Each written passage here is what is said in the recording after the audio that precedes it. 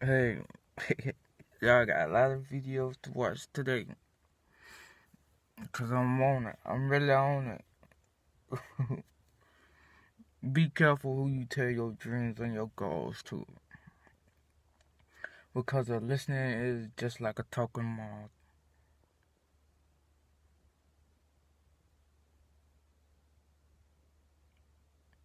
A listening is just like a talking mouth. See, that's why I just sit back and I I observe a lot of people. The people around me, even my family, my friends, every, well, the people I do business with or whatever. I, a lot of people learn about what I do just by word of mouth. So, just by saying that, you just gotta watch what you say around people and watch what you do around people. Cause they show can flip it. And they show can take your ideas. I've seen it plenty of times. Just watch just watch what you say. You can't you can't tell everybody your plan. Because eventually they're gonna either criticize your plan or throw you knock you off your track or they're just gonna take your plan and do it another way. Cause you can't you you can't you can't tell the secret code of everything you do. It's just like it's just like it's just like war. If you tell your enemies what you finna do, what you think they finna do? Huh? Even though Okay, okay you can tell you can tell somebody that got a job and they work, you know, and they work and they they they got money, but they blow it. You know, they blow it. They blow it every week. They blow it. But you not thinking.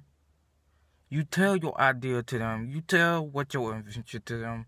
You tell what's your plan. You know, and they know you, you and they know you not the nine to five type of working pro, work working type person, you know, and you tell them, and they and they go do your idea, and they mess it up. What they leave you with? Nothing. Or they even tell you tell you your plan, and they secretly plan on you. You know, they become your competition because eventually the the friends you have gonna either be competition or you know or additions and it's two types of people. It's connections and attachments. Connections get you power.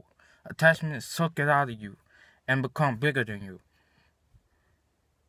So cut them people off if they're attachments because you don't need no attachments in life because you're gonna die in that casket by yourself and you going whatever you did in your life, you gonna pass that down to your generation.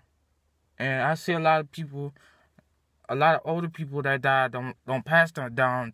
I see that in a lot of um, a lot of minorities. They don't pass down nothing to their kids, and they just leave their kids to starve and suffer with nothing to fall back on. So you leave this generation with lost. They don't have nothing to look forward to in life. They don't have a fallback plan, so they gotta do whatever they gotta do to have that fallback plan for themselves, and hopefully they can have that type of you know have that type of mindset and vision, so their kids can have something to fall back on. You know. So don't don't reveal all your cards to people that's people that's in your life but very temporary. Because a lot of people are very temporary. Temporary. Excuse my French. Temporary. They in one day, they out the next. Even family, you know. You can't trust every every family member.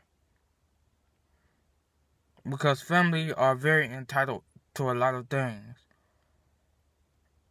if they see if they going through the same thing you going through, when they want to help you, when they want to bring you up. I'm not saying I have a, a bad family. I'm not saying I have the worst family. I'm not saying my family don't do nothing for me. But, you know, it just it's just a lot of people don't think like I do. So I just I just do it by myself. But when I get to the point where I'm successful, I'm still gonna get back because this just me. I did this because of me. I was going through my own situation. I was going through my own trials and tribulations in my mind.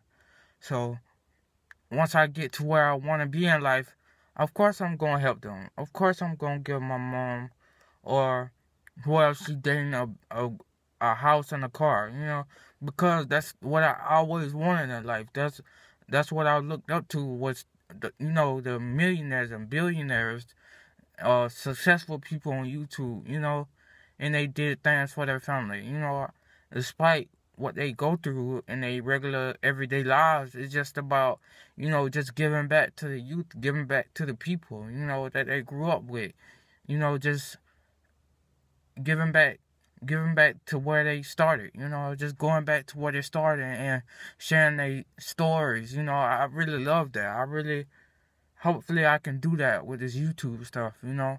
But don't don't reveal everything to your to people you know, you know you gonna move away from or you know you gonna start a life without them, so you can't just discuss big dreams with small-minded people, you know. And that's gonna that's gonna be the end of this video. Talk to y'all later.